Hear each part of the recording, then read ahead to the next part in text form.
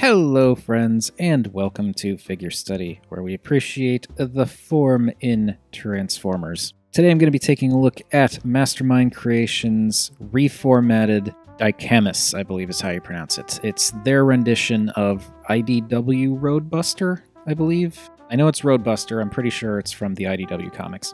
Now, this is a figure that I was kind of on the fence about getting for a little while because I thought he looked really cool, I thought he looked really neat in robot mode, and I thought the vehicle mode was pretty cool. But for whatever reason, I was just a little tentative about getting him, and then I finally got him, and yeah, no, he's freaking awesome.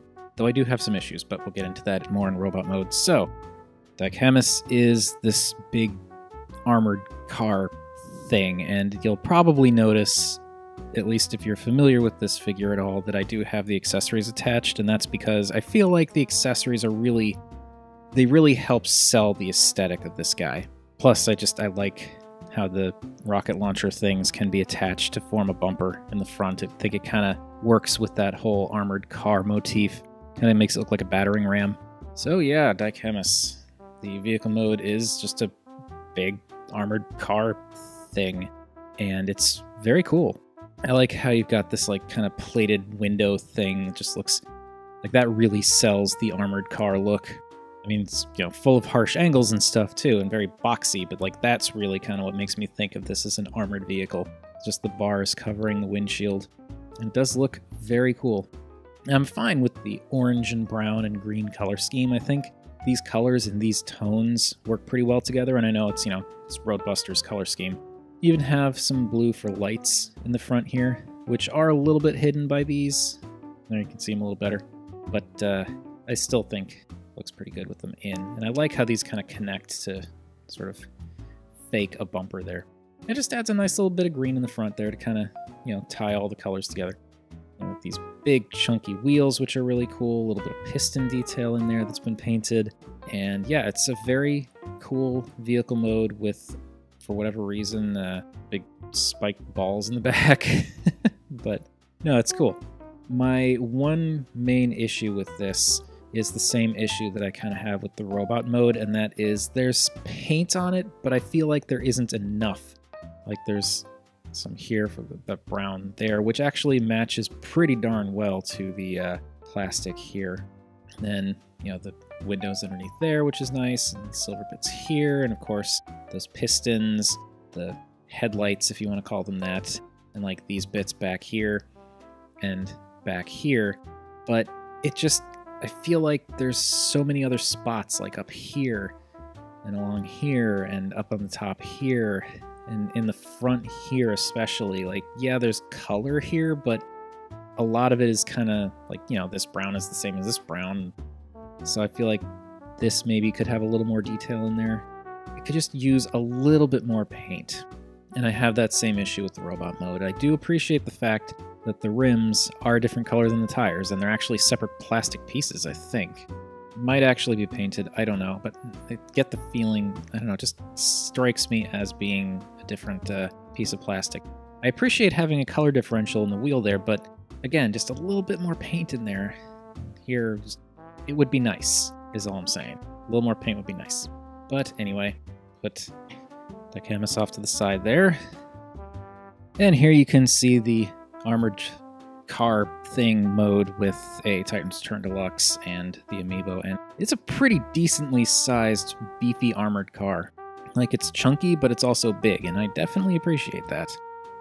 And yeah, it's just it's a neat, beefy, nicely detailed, though could use more paint, armored vehicle mode, and it's kind of surprising how this guy, like, for all of his beefiness, he kind of spreads out more to make this kind of wider based, boxy, very boxy vehicle.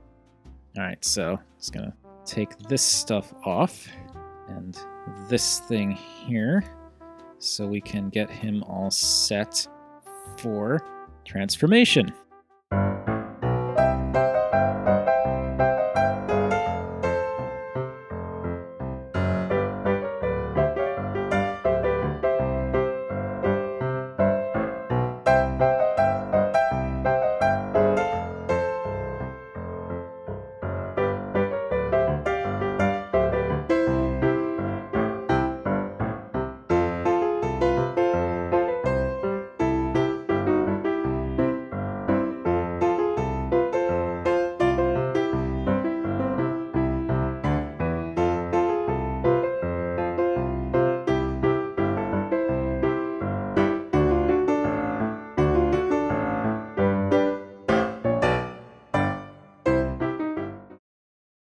Okay, and surprising no one, here we have Dicamus in his robot mode, and oh lordy do I love this thing. I will get into my issues in a minute, but you know, this is just this is very cool. And granted, I'm not super familiar with Roadbuster, never owned the original toy, never owned the Generations version, although I did have my eye on it for a while. This is still very evocative of Roadbuster, from what I know of him, because just those colors are very distinctly his. And this just looks just wonderful. He's got a really cool, like, just chunky, boxy, beefy, almost burly, no, not that one, silhouette. And it's so, so cool. Him in a little closer. Here we can see some of that detail. And a lot of it is detail that was visible in the vehicle mode, with just sort of like the midsection here mostly being newly revealed. There's some nice detail in there, though it is a little bit lighter in some places than others. But like you can see, like rivets in there, venting bits here and there, little other panel like lines and stuff. Some nice robotic detail on the arms too, underneath these big chunky plates, which is pretty neat. And I thought I would be bothered by the bulbous hands and the fact that his fingers all kind of have this permanent curl to them, but they actually look pretty good splayed out like that. And they just fit the aesthetic of this like big beefy guy. And of course, you know me and big shoulder pads, so there we go. I also really like these uh, vents like right over his shoulders. That's just a neat detail. And I love this head sculpt. Again, I'm not super familiar with Roadbuster as a character, but this head looks really cool. I like how it's just really boxy and it uses like the orange and the green for the rest of the character and like it kind of like this head color wise, I think the boxiness fits his entire body aesthetic better. Like it matches that because his whole body is pretty broad and boxy. But like color wise, you also get, you know, the green and the uh, orange there, which kind of mixes in a lot better. And I think this works better for me over the original head, which I'll show for a comparison in a minute. Also, because the way this works, it's like the green stuff in here and the orange stuff here is all sort of like the inner parts of the robot. All the brown, with the exception oh, of his little tootsies there. But for the most part, all the brown is very obvious armor plating. So having a green and orange head, I think, just kind of works a little bit better there. And then here we have the original head that he comes with. He does come with two heads. And this isn't a bad head, but I just, I really like how that green works with this center mass a little bit better than the brown. And also, this head makes me think of a snork. I know it's not. I know they actually have the things coming up off the top of their heads, but this is just like this extruding mouth plate thing just makes me think of some kind of weird seahorse snork underwater 80s cartoon animal thing. I mean, it's fine, but just given the option, definitely that one. Again, bringing it in closer here one more time. It's just, I really like the boxiness of this. This head looks like it's a head that's itself covered in armor, and the entire body's covered in armor. Whereas this, it's just kind of a head. Again, it's not a bad head, and I think the brown does match, like it matches the brown on the outside, but I just think it looks better with the more square shaped, boxy green and orange head. But yeah, that is my preferred head. I do like the uh, metallic green for the visor. He just looks very, very cool. Just I love how love how chunky this guy is. And of course he can be enhanced with his accessories. And there are different things you can do, like you've got these bumper pieces that become rocket launchers, basically, like rocket pods. And you can do stuff like plug them onto the sides of his arms. You can plug them up on the inside of his shoulder pads. My preferred thing is plugging them back in here. So he gets kind of like a shoulder mounted rocket launcher. And then for the other one, you got the rifle here, which him out so we can focus. The rifle also gets a little paint on it, which is nice. It could probably use a little more, but I like that it did get paint in the first place. And then here I saw uh, in Emgo's review, he mentioned that you could slide this over the barrel, which you can. The only problem is if you push too far, that kind of splits open a little bit, and that doesn't really, I don't really like that. so you can kind of do that. make it look like he's got a giant silencer on there. But my preference, again, is you can peg it into the bottom of the rifle, and so it looks like it has kind of like a underslung grenade launcher. And that I like very much. Just giving him like a bigger, beefier gun. And bring him in here. And again, I know I don't normally go over accessories, but I just really feel like the accessories in this case kind of go a long way to enhance this guy's thing. So, get this guy situated how I tend to like to get him situated. And that is super cool. I am into that look. Just like the big rifle, the big shoulder rocket launcher thing, the big beefy mitts, the big beefy robot. it's all very, very cool. I do kind of wish that the gun was not green, though. I know it, you know, works with the rest of the color scheme, but I just feel like, you know, there could have been a little paint on the rocket launchers, and maybe they could have been like gray or something, like actual gun colors instead of green, because as it is, as cool as it looks, and as much as you could argue it being an extension of his arm is a thing, it just it kind of does look like an extension of his arm if you're just looking at colors. I just I wish there was a little bit more of a color difference with the gun, with all the accessories really, to kind of set them apart from the robot itself. Now, in terms of issues that I have with this guy, it's two main things. Uh, one is these knee bits here. I just like these are really kind of easy to just knock out of place. And I mean, they rotate for the transformation, but it's so easy to bump them and have them spin a little bit. So like you'll be adjusting the guy and then you go to put him down and suddenly it's like, oh. So I kind of wish that those at least had like maybe a soft lock or something, but I know I'm not the only person who's had that issue. My other issue with this guy is pretty much just like the vehicle mode. I just I wish there was more paint. Like there is paint here. You've got, you know, for the shoulder bits, for the knee bits, there's some on the gun there. But most of this just doesn't look quite detailed enough in terms of colors that are picking out certain things.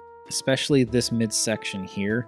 It's just it's all orange, which is fine, but like there's a lot of detail in there that just kind of gets washed out by the color when you're looking at them from a distance. And I really just wish there was a little bit of paint, like a little bit more color detail, like in the legs here, in the torso here, maybe even like in the shins or something. It just, it's a little bit plain. I still think this guy is fantastic and really, really cool, but just wish there was a little more color.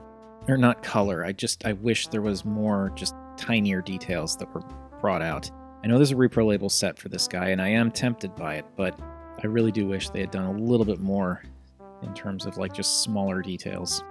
One other thing that I do like to do though, which is more of a fan mode, is uh, this is the official transformation with the secondary head, of course, because, you know, again, you still have this thing. But to uh, set him apart from his mold mate, it's a Titanica, I believe, they have you rotate his shins around the way that they are rotated here. But what I've found I prefer to do is rotate them around this way. And at first I thought this was going to bother me because he's got tires just kind of on the insides of his calves, which is a little weird. But this actually ends up working out pretty well for my uh, for my liking because first off, having him spun around this way, he's got slightly chunkier feet, which I think work better because, you know, these are the feet going the other way and they're fine. But just this guy's so big and burly and bruisery, I feel like the bigger feet work better for him. And again, I thought the wheels here would bug me, but they really don't. And they just add a little bit more interest to him color palette wise, because now instead of just big blocks of brown, you get a little bit of black and green in there too. Of course, the downside to doing it this way is it makes the lack of color differential up in this area here all the more obvious. But still, he's a very, very cool figure, and just he looks so neat. I just I love the aesthetic on this guy and the chunkiness and the just I will make you eat your own face kind of attitude that he extrudes. And surprising absolutely no one, I'm sure, he is quite large. He's definitely, definitely uh, bigger than a Titan's Return Deluxe and the Amiibo, of course. I peg him at not quite larger masterpiece size, but like he's He's tall. He's a big boy and very, very chunky, which definitely works in his favor, I think. Yeah, Dicamus just looks fantastic and very imposing on the shelf. Glad he's a good guy. I just, I do wish there was just a little bit more detailing, at least in the chest, like just a little bit more in the chest. I could probably, it would probably help if I get a repro label and give him either an Autobot or a Wreckers logo. But, you know, just out of the box, no, uh, no customizing or anything. Fan moding doesn't count.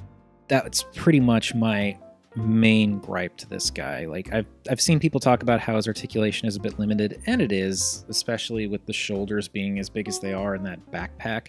But it doesn't bother me that much because he's a big hulking bruiser of a bot, and I feel like having semi-limited articulation is fine because I mean, look at him. He is not lithe. He is not going to be like parkouring all over the place. He's just going to walk, he's going to break the wall down with his face. this is not a guy who's going to be nimbly hopping around.